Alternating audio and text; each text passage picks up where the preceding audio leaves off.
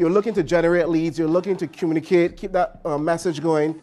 Every opportunity that you miss is money that you have lost.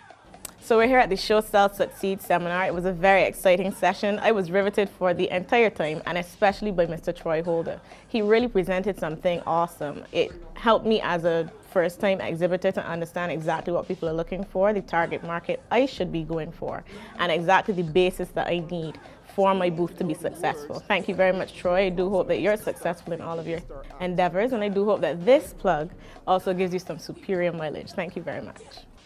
Every day it's game day.